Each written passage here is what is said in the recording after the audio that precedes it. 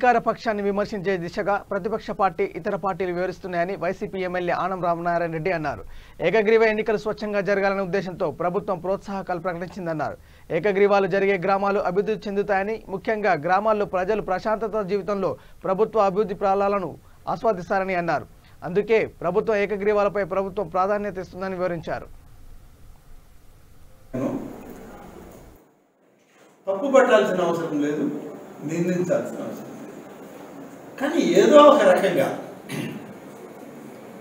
ప్రభుత్వ పక్షాన్ని అధికార పక్షాన్ని విమర్శించడమే పనిగా ఆ విమర్శలను చేయాలి అనేటువంటి దానిలో ఇవాళ ప్రధాన ప్రతిపక్ష పార్టీ ఇతర రాజకీయ పార్టీలు వాడు పనిచేస్తూ ఉన్నాయి ఇది అంత భావ్యం కాదు. ఇవాళ ఎవరు చేయగలిగింది కూడా ఏం లేదు. Non party base. ప్రోత్సాహకాలను ఇవ్వడంలో ఏకగ్రీవ ఎన్నికలు ఉంటే బాగుంటుందని చెప్పి చెప్పడం జరిగింది. అయితే ఏకగ్రీవ ఎన్నికలు కావాలని అందరూ అడుగుతున్నారు తప్పేం లేదు. అయితే ఆ ఏకగ్రీవ ఎన్నికలు స్వచ్ఛందంగా ఉండాలన్నదే ప్రభుత్వం యొక్క ఉద్దేశం. అందుకని ప్రోత్సాహకాలను పెట్టింది కానీ ఈ ప్రోత్సాహకాల వల్ల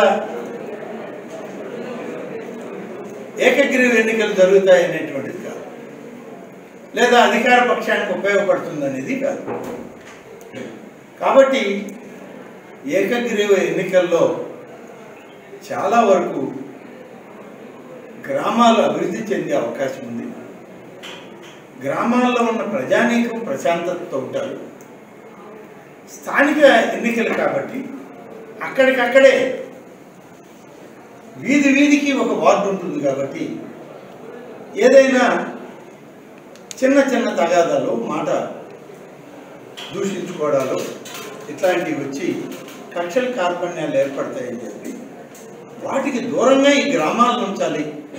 శాంతియుత వాతావరణం గ్రామాల్లో ఉంటే అభివృద్ధికి దోహదం చేస్తుందనే ఉద్దేశంతో ప్రోత్సాహకాలు కలిగి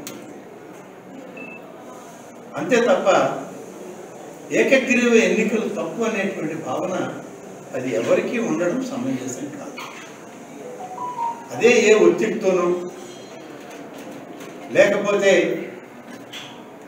ఏదైనా దౌర్జన్యకరమైన సంఘటనలతోనూ ఏకగ్రీవ ఎన్నికలకి జరిగితే ఒకవేళ దాన్ని తప్పు పట్టడంలో లేదా ఎన్నికల కమిషన్ దృష్టికి తీసుకుపోవడంలో సబబుగా ఉంటుంది. అంతేగాని గ్రామంలో పది మంది ఉన్న రాజకీయ పార్టీల్లో ఉన్నవారు. ఒక వర్గము రెండు వర్గాలు మూడు